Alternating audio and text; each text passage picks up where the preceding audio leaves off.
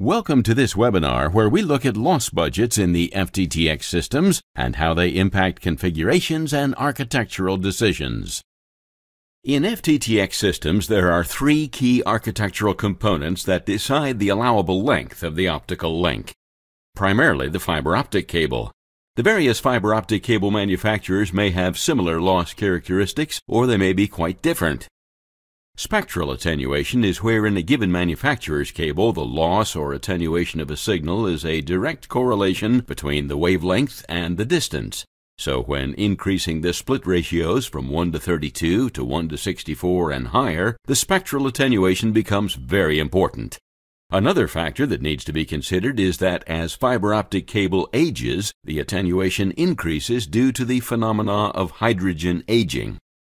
This is where the molecules of hydrogen atoms in the silica or glass tend to break down over time, making the fiber less clear to transport the light pulses. The second component is the class of optics. Within the standards bodies, various classes of the optics electronics are defined. EPON has traditionally used Class A optics, but have moved to the Class B optics and fall within the BPON specification of split ratios to 1 to 32 and distances of 20 kilometers. GPON utilizes Class B plus and Class C plus optics. The third component that is affected is split ratios. Let's discuss these in more detail.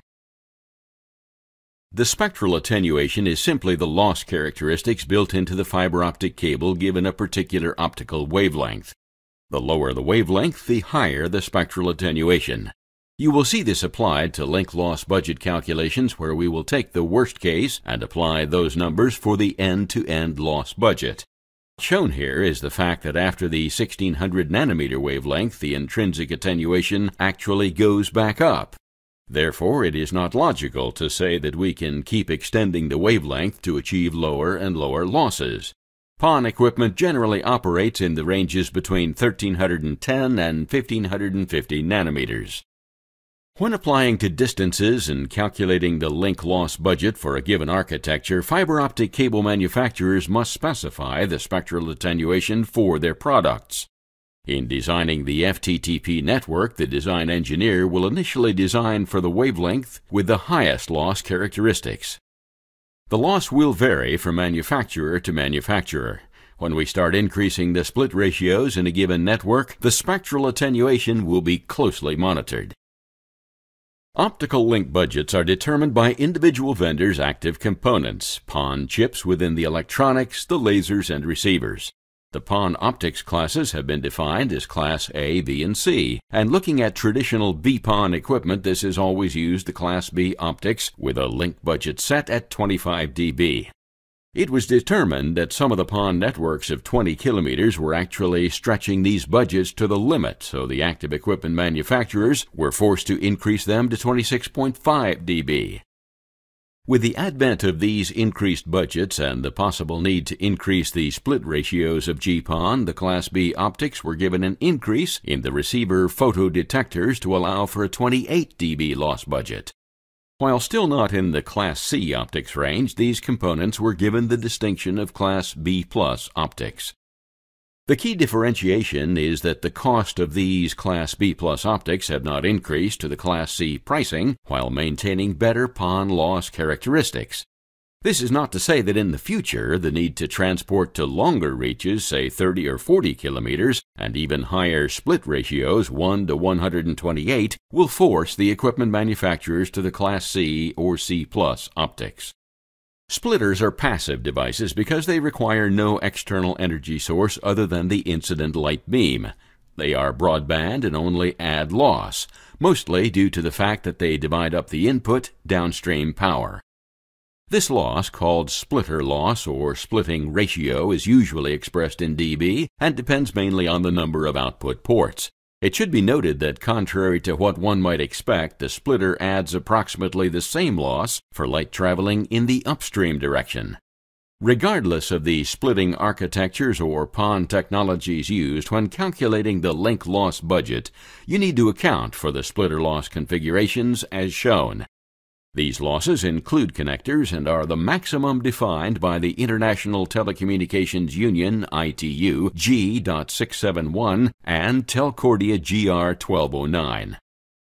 The network design engineer does have some options to lower the loss, though, by using premium splitters and low loss connectors in the network, and to ensure that fusion splices are well below 0.05 dB per splice.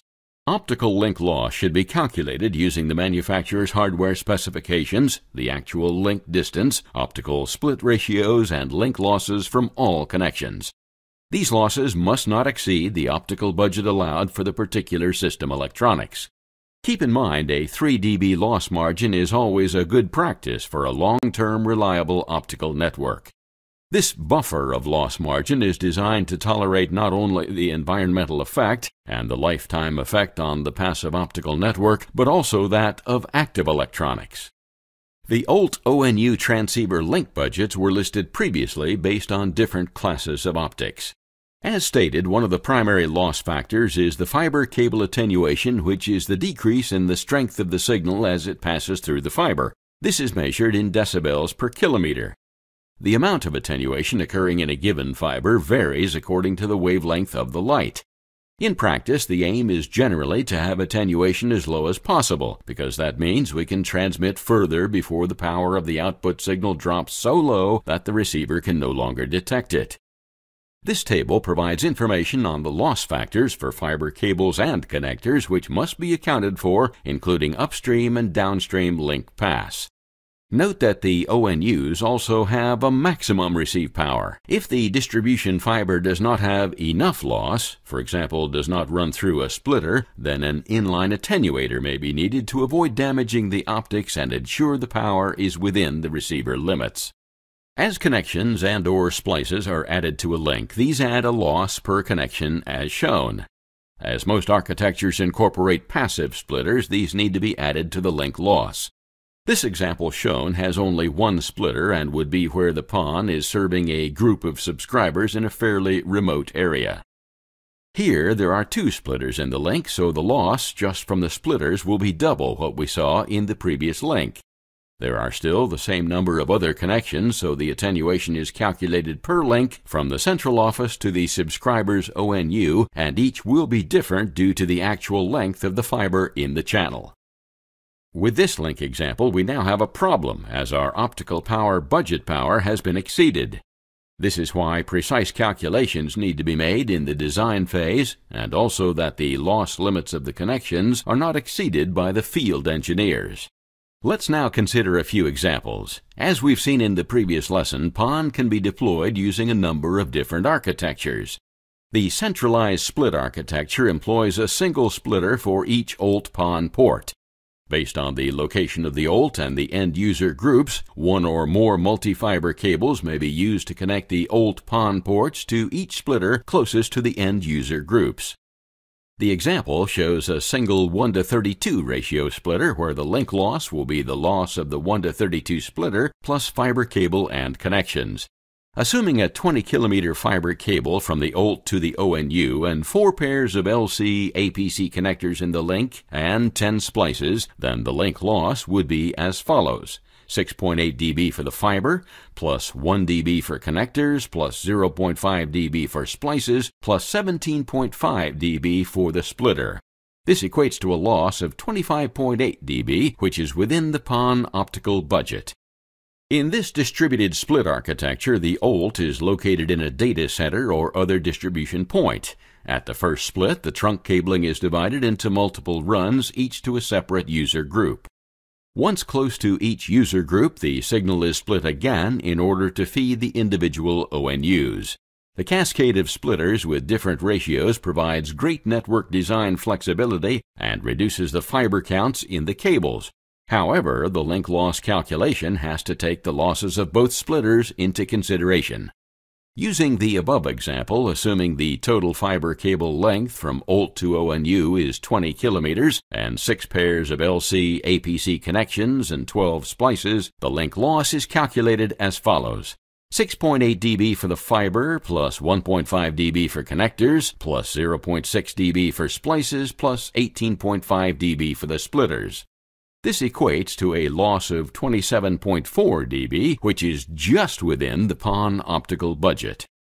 Another example here is a typical architecture covering an MDU or multi-dwelling unit environment where the OLT is located in the central office.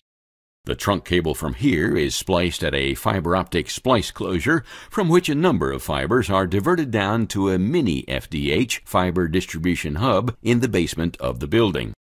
In the FDH, the signal is split to feed several network access points, or NAPs, which are closures that allow local administration and connection.